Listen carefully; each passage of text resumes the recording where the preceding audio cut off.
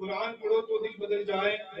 कुरान पढ़ो तो दिल बदल जाए नमाजें पढ़ो तो चेहरे रोशन हो जाए। और कितनी प्यारी है रसूलुल्लाह की सुन्नतें अमल करो तो ज़िंदगी समझ जाए।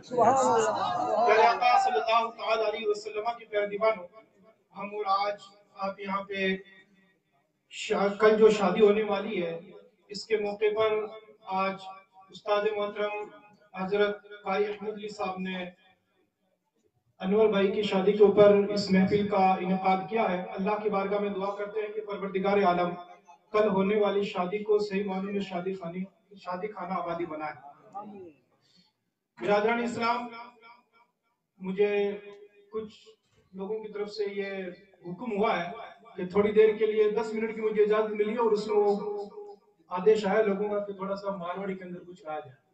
तो मैं कोशिश करूँगा जहाँ तक मुझसे हो सकेगा इंशाल्लाह ताला मैं अपनी जबान में आज तक कुछ इस्लाम का संदेश इस्लाम का मैसेज पहुँचाने की कोशिश करूँगा।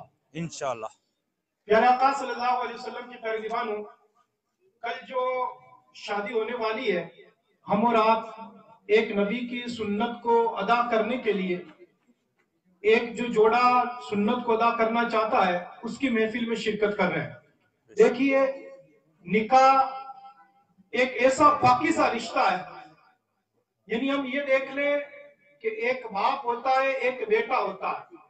तो बाप को और बेटा को जो रिश्तो हुए ना, वो अटे दुनिया में हार को रिश्तो बने या मियाँ को और बीवी को जो रिश्तो हुए बाप को भी जो रिश्तो बने तो दुनिया में बने।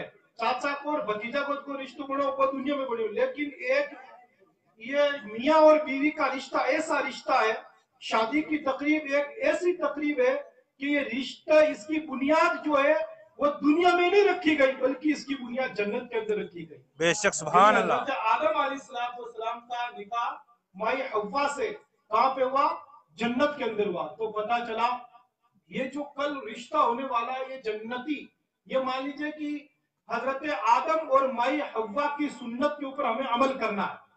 इसलिए हमें चाहिए कि जब हम इस सुन्नत को अदा करने का जब हम इरादा रखते हैं तो इससे पहले हम कुछ ऐसे काम कर जाएँ कि जिसकी बुनियाद पर आने वाली नस्लें और आने वाले लोग और इनकी गोद के अंदर खेलने वाले बच्चे भी इंशाअल्लाह ताला इसके ऊपर अमल करते हुए अगर इस रिश्ते की हमने बुनियाद रखी है तो आने वाले इनसे पैदा होने वाली इनकी नस्लें भी नबी की गुलाम पैदा होगी बेशक अब आप गाना बजावा डीजे बजावा और भी कोई दूसरा नाटक करा बचियान का काम कर बच आप भी के लिए उम्मीद आ रहा था कि माने जो है यूँ सिलो अच्छो मिली। अब भाई दाना तो आप ज़मीन का मायने बाजरी का डाला। अब बेटे सोचो पड़ जाऊँ गेहूँ होगी गेहूँ होगी तो कत्ती साल सोचता रहो बाजरी का दाना डाले तो बाजरी उगनी है। क्यों? कौन उगे? सही बात- है सही बात है। आप अगर ये रिश्ता की शुरुआत ही उनकी चीज़ों करा और बच्चा पर नेक वंशात रखा क्या भाई मारो बेटो या कोई वो नेक हाँ। बन जाए वो बूटा पर मारो सारो बनी है ना? तो आ हरगिज कोनो है। क्यों?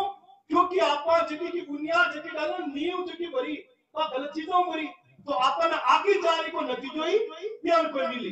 तो कहने को मतलब वो है कि अगर आपा चावा के माता रिश्ताओं आना बेटा फर्मादार फर्मा बने એ માકા કેડું માનનાળા બને માકા પોતાઓનાળા બે કેડું માને तो इनके लिए जरूरी है कि नबी की सुन्नत पर अमल कर रिश्ते को पूरा करना तो नबी की सुन्नत तो यह की है कि हकीकत के मायने जो बंदा नबी की सुन्नत पे अमल करता है तो दुनिया रहती दुनिया को भी लोग उसके गीत करते और जाने के बाद भी लोग उसको याद क्या करते हैं बेशक सुभान अल्लाह आज आप शादी की वेदी में बैठा आज गौस आजम गौस आजम गौस आजम कितनी बार नाम सुने होता है यूसुफ भाई फिर गौस आज़म की मनकबत बढ़ गया।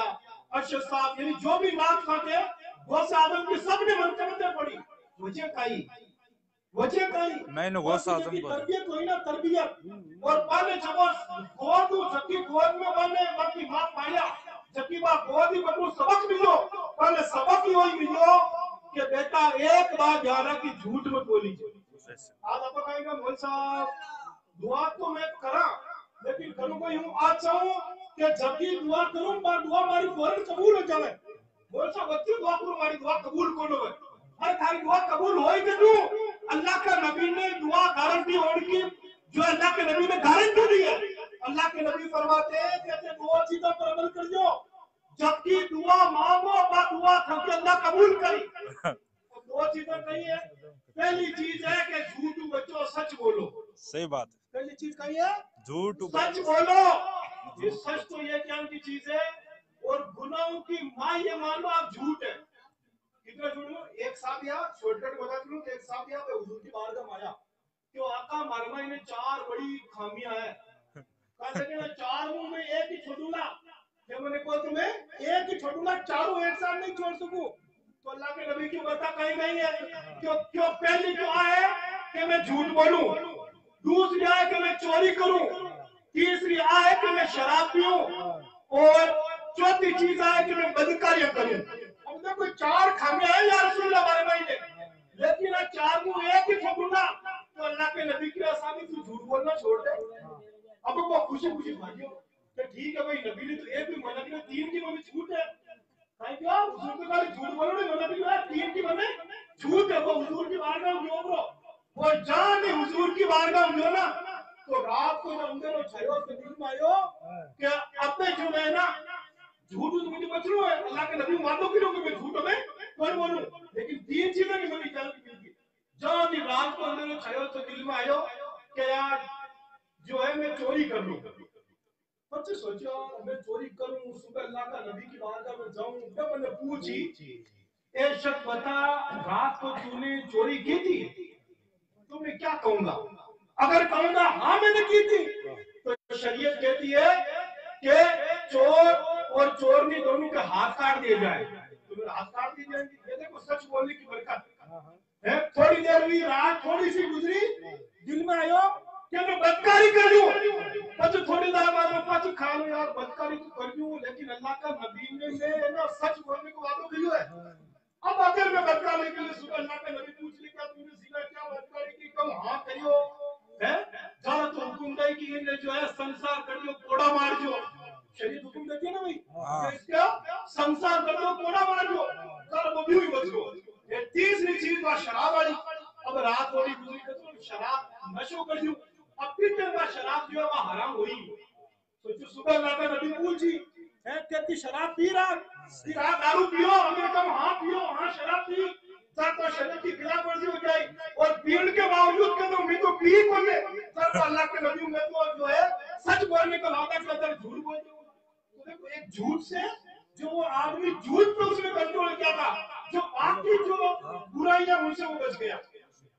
गोश्त आज़म की माँ ये ना गोश्त आज़म की परवरिश जब करी ना माँ ये चीज़ होती कि बेटा, पहले शर्म दे कि बेटा, तू मेरी झूठ मत बोली है? और कराया अबे, बेचारी परेशान अगर ईमान की तरबियत बेचारी की ज़रूरी है और बच्चा पर उम्मीद रख सका कि हाँ आगे जा वो मैंने याद कर ले वरना यार सुन्नतों का अमल करा आज देखो भाई आज साइंस कहती है या हमारा भाई कहता थोड़ा सा खाना भी शाम को ज़्यादा खा लेते हैं ना। तो साहब पेट पर हाथ करोड़ा साल रात में घूमे तो भाई अपने बच्चों का जब भी रिश्ता करें तो इसी तरीके से करें।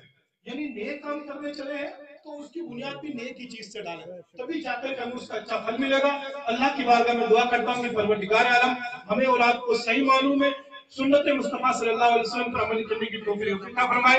बोल नंबर किस तरह गलतियों की मैं अल्लाह की बारगाह में तौबा इस्तिगफार करता हूँ। अस्तगफिरुल्लाह रब्बी मिन कुल्ली ज़ंब व अतूबु आप हज़रात मेरे साथ मिलकर कलमे तैयबा पढ़ना। अशहदु ला इलाहा इल्लल्लाह व अशहदु अन्न मुहम्मदन अब्दुहु व रसूलुहु। मा अलैना इल्लल बलाग अस्सलामु अलैकुम।